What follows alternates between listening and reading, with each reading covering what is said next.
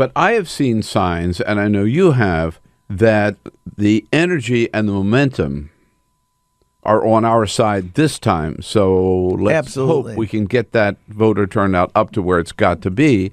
I mean, you've seen that in some of these special elections. You've told us before how many Absolutely. flipped already. Yeah, from- 43 seats have fit, flipped from um, red to blue in places like Oklahoma, Kentucky, uh, Right. across the, the map. And and we have the most recent election in Ohio, the, the 12th congressional district, which is a district Republicans have held for 35 years.